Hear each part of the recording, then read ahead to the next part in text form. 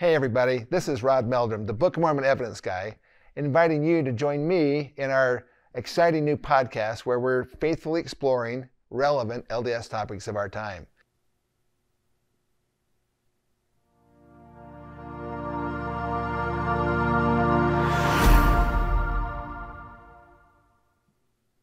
We have uh, had many questions about uh, what has happened to me. where, where did I go? Did I take some kind of a hiatus? I, I kind of disappeared for a while. So I thought I'd better answer that really quickly.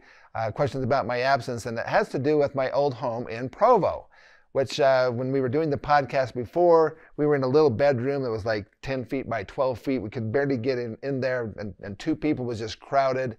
Um, we had other other things. We wanted to kind of get out of the out of Provo, the city. We were kind of downtown area. We wanted to move basically out in the country. I grew up out in the out in the country, and I wanted to move kind of back to that. So we ended up buying a new property um, down south of Provo in a place uh, called Sanpete County, and actually between uh, Fairview and, and uh, Mount Pleasant, Utah. And we bought this this property.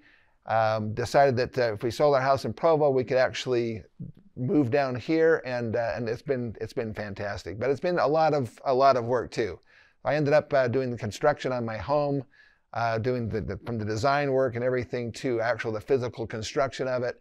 I had to move our family a couple times. My wife went to help her parents out down in, in, in Moab, Utah, and I I ended up living in an RV for for the last couple of years. So it's pretty hard to do the the podcast from an RV.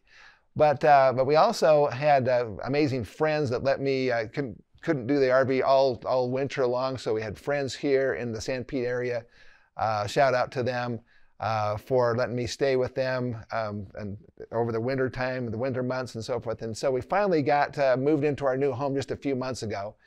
And I just want to tell you that just, just some of the quick recent events. There's been a lot of great things that have been happening in the Heartland um, genre of, of the Book of Mormon geography. We've had uh, amazing things like the, uh, the, the Sound of Freedom film that went uh, that went, you know, the, the, the, number one film of the summer of the whole summer and so forth. We've had uh, the Oath movie that just came out uh, recently.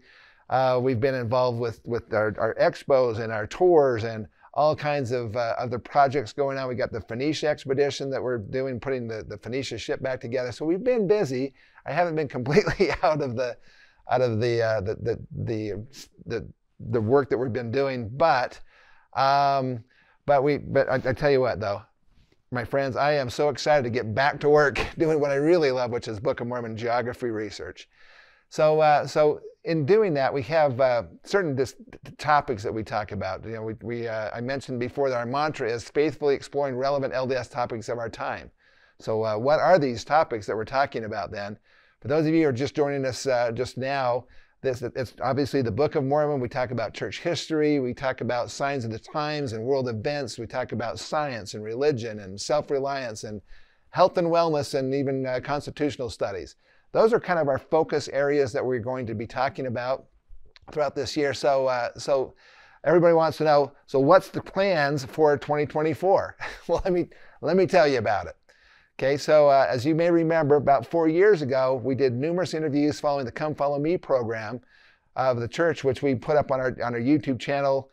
And it was called Come Follow Me 2020. Well, obviously, that doesn't work for 2024. So we had to move all of our previous content over to the main YouTube channel called bookofmormonevidence.org. And when we did, unfortunately, we lost over 3 million views. So it's kind of like we're starting over again. So we're relaunching our Come Follow Me series, which includes incredible interviews with numerous thought leaders and scholars. And I really would like to encourage you to watch our interviews on YouTube channel at bookofmormonevidence.org uh, each week as we come out with new information, but also the, the, to look at the, the, previous ones that we have done. We're going to be lining those up with the, uh, with the chronological uh, order of the, of the Come Follow Me program of the church. So hit subscribe below. So now, right now, so you don't forget, don't forget, just, just go ahead right now and just do that. okay. Uh, but what I'm most excited about is the, is the amazing interviews that we're about to, to happen, that we're scheduling right now for this year. But unlike previous years, we're going to stay focused on the Book of Mormon and the, the topics that we, that we do and give additional supplemental information beyond what we've discussed previously. So I'm excited about, about that. We're not going to be following directly the chronology of the of the uh, of the Come Follow Me program, but you're going to have awesome information. You're going to be able to to utilize each week as we as you go through that.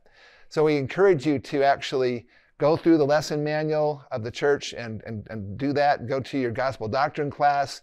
Learn all you can. There's something like 65 different Come Follow Me podcasts that are out there now, so you can pick your favorite one of those. But if you want to go deeper, if you want to learn more about the Book of Mormon than you ever have before, um, something that's going to energize your study of the Book of Mormon like like never before, then we invite you to come and, and be a part of our podcast. All right, so folks, so let's strap in for the most in-depth and exciting new research that will engage and, and, and energize your study of the Book of Mormon this year like never before.